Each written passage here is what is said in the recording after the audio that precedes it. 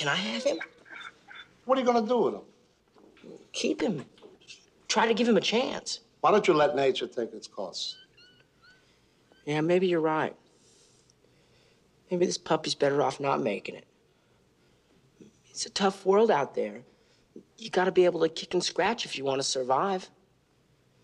I found that out right after my parents died.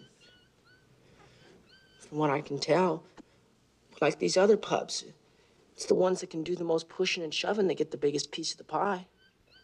I don't think he stands a chance. But if you like him, take him.